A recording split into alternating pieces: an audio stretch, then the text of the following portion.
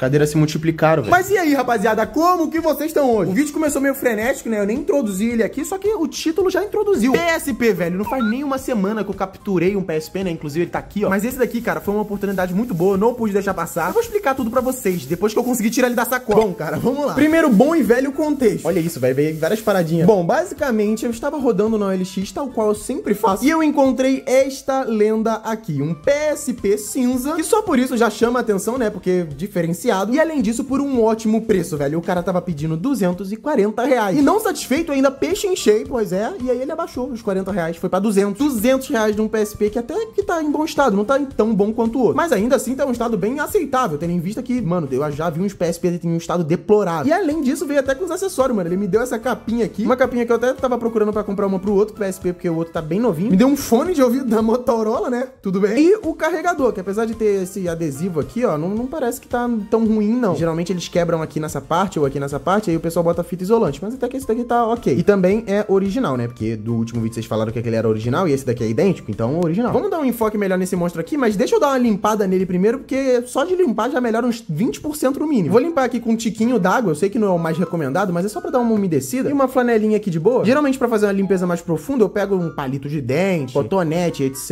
Mas aqui é só pra gente dar um grau, né? Ver o estado real do console. Passar aqui atrás também. E pronto, deixa eu tirar essas paradinhas aqui. E agora sim, vamos dar uma olhada mais profunda. Bom, como vocês podem ver, ele tem sim algumas marcas de uso, eu tenho que limpar esse analógico também. Mas assim, cara, tá bem aceitável. Essa tela aqui, ó, tá bem bonita até. Claro, tem uns arranhadinhos, mas bem superficiais. Isso aqui é sujeira, no caso. Mas assim, em geral, cara, muito bom o estado da tela. Aqui ele tem algum descascadinho, né? Um pouquinho de arranhada aqui. Aqui nesse outro ponto também tem um, um descascadinho aqui. Na parte de baixo a gente pode perceber que apesar de um pouquinho apagado, é um PSP 3001. Aqui na lateral a gente também tem algumas marquinhas, mas nada demais. Do outro lado tá bem sujo, isso daqui tem que dar limpada com maior atenção depois. Em cima, até que tá bem de boa também, um pouquinho de arranhada ali normal. E por último, a traseira. Geralmente é a parte que mais arranha, né? Porque é a parte que fica na mesa. A gente tem uma marquinha aqui e aqui, um arranhado mais grosseiro aqui nesse ponto, também uma descascadinha. Mas cara, em geral assim, ó, eu já vi PSP em estados muito, mas muito piores mesmo. E por 200 reais, velho, tipo, na verdade eu tava pesquisando para achar um PSP todo ferrado, só que o mais barato possível e funcionando. Porque eu queria fazer uma troca de carcaça e tudo mais, fazer meio que uma série aqui no canal. Só que acabou que eu achei um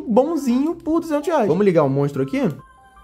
Aí, ó. E assim, cara, é um PSP normalzinho. Deixa eu trocar esse tema, pelo amor de Deus. Colocar um que combine, sei lá, com essa cor. Ó, prata, óbvio. Se bem que o preto também ficou bonito. Mas eu acho que esse cinzinho aqui fica mais aesthetic. E olha isso, mano. Ah, vai dizer que não é bonito. Pelo menos assim, por 200 reais, velho. Pelo menos pra deixar assim exposto. Inclusive, eu não sei que fim vai levar esse PSP. Porque, como vocês sabem, não faz literalmente nenhuma semana que eu peguei esse daqui. Que tá praticamente novo, velho. Tá em um estado muito melhor. Tudo bem que tá meio sujinho aqui. Mas vocês podem ver que ele tá bem novinho. E é nele que essa capinha vai ficar. E como eu já tenho esse daqui, não tem muito porque eu ter dois PSP. Ainda mais sendo do exato mesmo modelo, né? Os dois são 3001. A outra coisa também, velho, eu tô com essa dúvida há um tempo. Que diabos é essa luzinha aqui? Ela também pisca no outro PSP e eu não sei o que, é que ela significa. O que, que esse símbolo aqui é, velho? Quem souber até comenta aí, porque eu não faço ideia. Mas como eu tava falando, né? Como eu tenho dois, não faz muito sentido eu ficar com os dois. Só peguei realmente por causa da oportunidade. E qual vocês acham que deveria ser o fim desse PSP, velho? Eu vendo, eu rifo pra vocês, talvez? Porque assim, eu só ficaria com ele porque ele é cinza, sabe? Porque de resto não tem muito porque eu ficar com ele. Comenta aí embaixo também, né? O que, que vocês acham que deveria ser o fim desse PSP? Taco de cima do meu prédio? Vamos testar essa capinha aqui, porque eu nunca coloquei ela. Aí, ó, de boa. Fica feio a beça, né? Mas pelo menos pra proteger o console vale a pena. O ideal, na verdade, seria uma toda preta pra eu usar nesse daqui, mas tudo bem. Fica melhor também pra pôr na mesa, né? Ele não vai arranhar. E até que a pegada também não fica ruim, não. Esse, ele tem essa parte áspera aqui atrás. O único ruim é que os botões ficam meio pra dentro, mas isso é o de menos. Né? E quem diria, mano? Eu saí de uma semana aí que eu tava só com esse PSP aqui todo ferrado, sem som, pra em seguida eu pegar esse daqui que tá novinho e uma semana depois,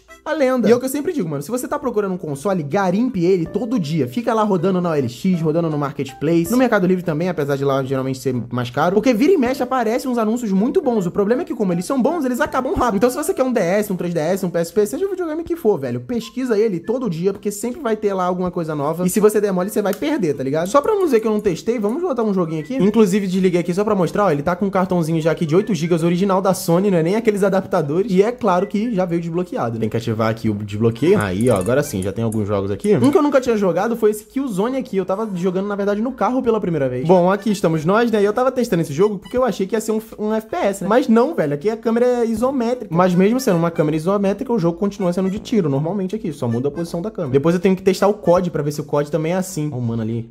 Tome. Mas ó, tá funcionando, né? Vocês estão vendo. Vamos sair aqui porque agora eu quero testar outra coisa. Esse meu outro PSP ali veio junto com esses UMD aqui, que é essa mídiazinha aqui, né, do PSP, é basicamente um mini CD. Então vamos ver se esse daqui tá funcionando. Se vai ler direitinho e tal. Ó, o motor tá girando. Lê aí, brother. Lê aí. Aí, ó, o MD. Parou. Sumiu. Não, tá carregando aqui de novo. Vai, confia em você. Ó, apareceu de novo. Vamos entrar aqui. Agora eu acho que vai, hein?